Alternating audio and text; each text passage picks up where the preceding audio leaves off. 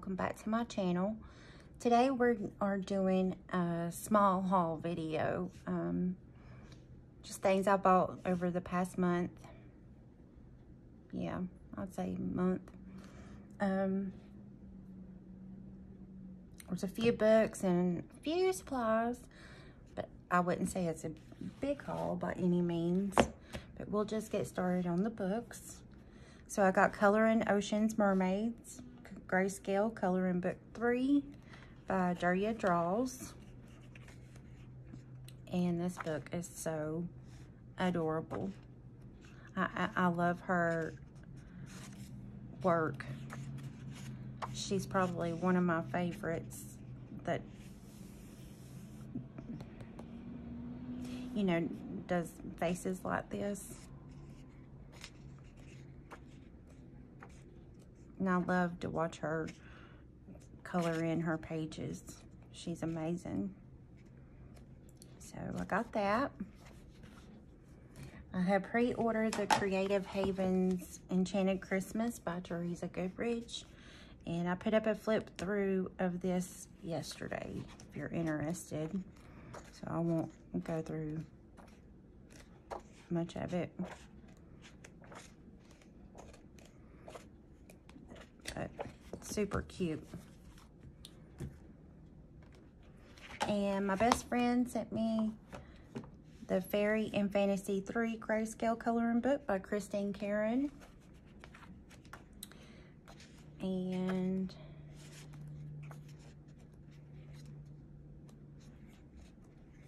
so pretty. This completed my collection of the Fairy and Fantasy series so far. That's cute.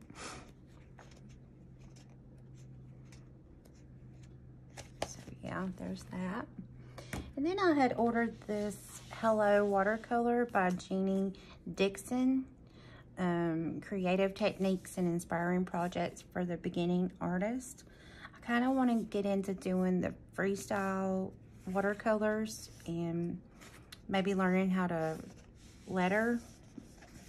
And she kind of goes through a little bit of everything.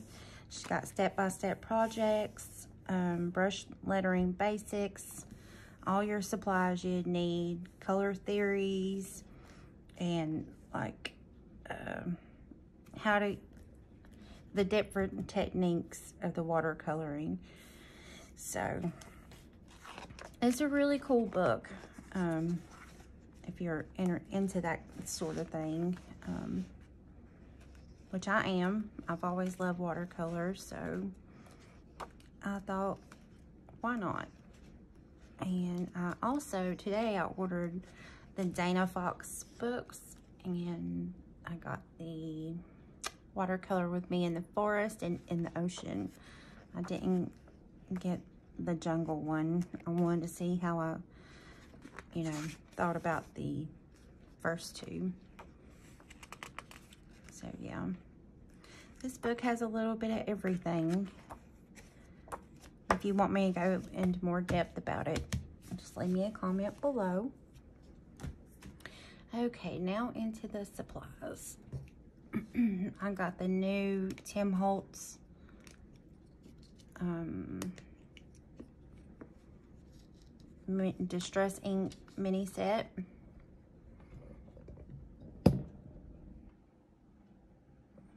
And it come with speckled egg, rustic wilderness, crackling campfire, and kitsch flamingo. so there's that.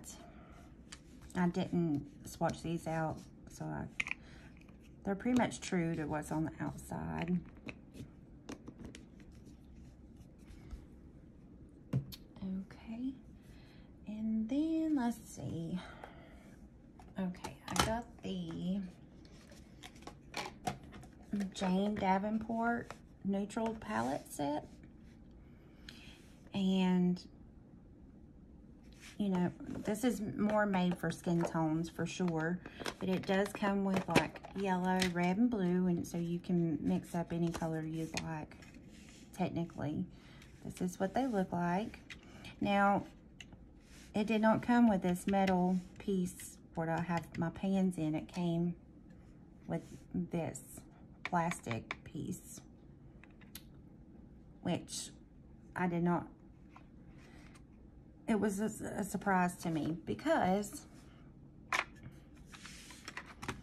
I have her Brights set forever now. I got it a long time ago. It's well loved, as you can see.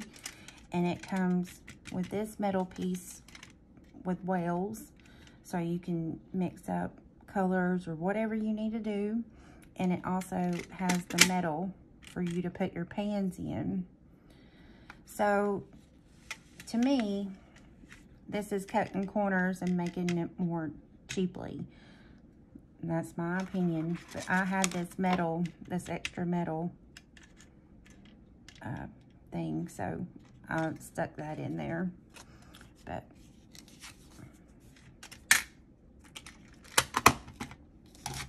this is the colors that it comes with. Mango, apple, blueberry, dove, unicorn, raven, vitamin C, sand, buff, spice, kiss kiss, and cocoa. So, I'm excited. I want to try these in the um, Jasmine Becket Griffith books. And see how it turns out for practice. Okay, and then I got the Art Philosophy Pastel Dreams set. And see, it comes with your metal piece with the wells and, and your metal in the middle to hold your pans. So this is what the colors look like for this set. Brown, chocolate, crimson, rose, lemonade, citrus, bumblebee, sea dream, paradise, pool party, icy sky, and lilac rain so pretty. I couldn't decide between this one and the Derwent pastel set. But I have other sets of these and I, I really like them. I have the classic tropical um, vintage pastels and decadent pies. So I knew I loved these, so that's what I went with. Okay, and then I got the Inktense um, paint pan set number one. And this is what they look like. And they come with this water brush, but I took the stopper out of the reservoir because I'm not going to keep it in here anyways. So I took it out, but I did swatch these for y'all so you can see.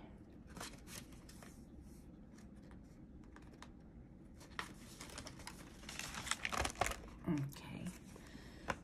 So, oh, sorry.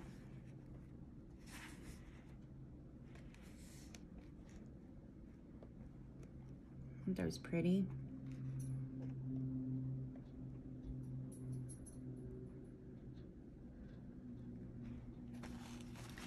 And I also got the paint palette number two of the Inktense.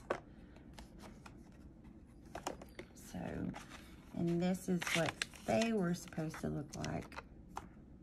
They, when they got here, they were all jumbled up everywhere. Um, and one was missing. I don't know where it went have no clue. It's just gone. But anyway, there's the stopper. I haven't taken this out. But yeah, I looked under it. I mean, I don't know where it went.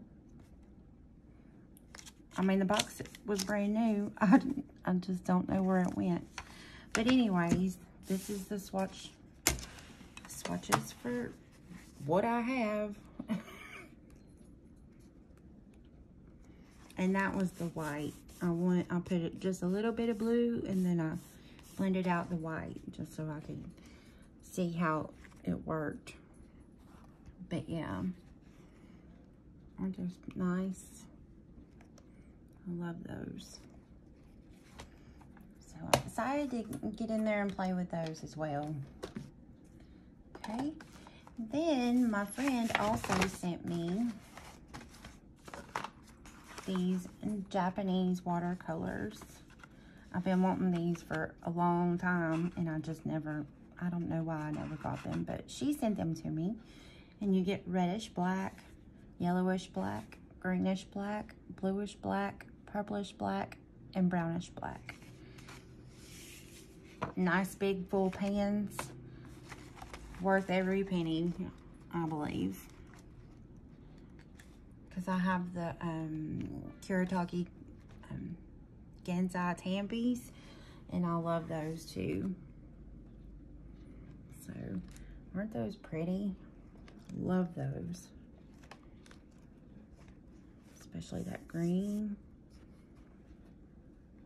And that, that's such a pretty color. They're unique for sure. So, there's that.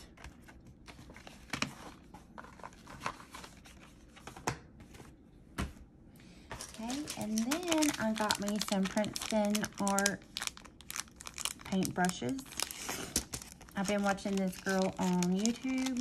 Um, she goes through like the basics of watercolor and she recommended these for beginners. So I got these. They are synthetic hair and they're good for acrylic watercolor and gouache. So, and you get a round number two, a zero, a round number six, and an angle shader of three fourths.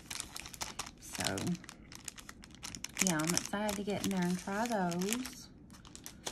And then I got these. I swear I didn't realize they were as long as my arm. But these are like weasel sable weasel hair, I believe. Um, I don't think they're the squirrel. I think they're the weasel. I'd have to look it up and see.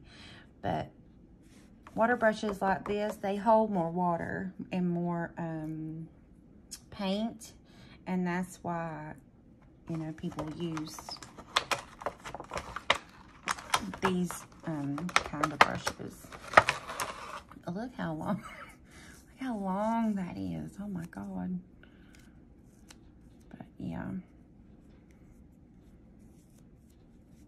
Needs washed off because, you know, they come with, with um, some gum arabic on them to keep keep them like that. So, yeah. I'll try those too. Why not? Um, hmm. Is that all? Did I go through all of it that fast? That was a small haul, I told you. um, so, yeah, I guess that's all I got to show you today. If you want an in-depth, you know, more review on anything, just let me know. I'm sure you'll be seeing me use my Derwent pink pens and um, the Jane Davenport if I figure out a good way to do skin with them, I'll, I'll definitely show you. But otherwise, I guess that's all I got for you because I did get some craft stuff, but nobody was interested in the craft um, stuff. So got I had to re-up on some supplies like my gesso and glue and all that stuff. But I do have some more books coming I ordered some from Book, Book Depository. so hopefully they'll be here soon. And then I'll definitely go through the Dana Fox books when they get here. So be on the lookout for that soon. But other than that, that's all I got for you guys. All right, take care and have a great day.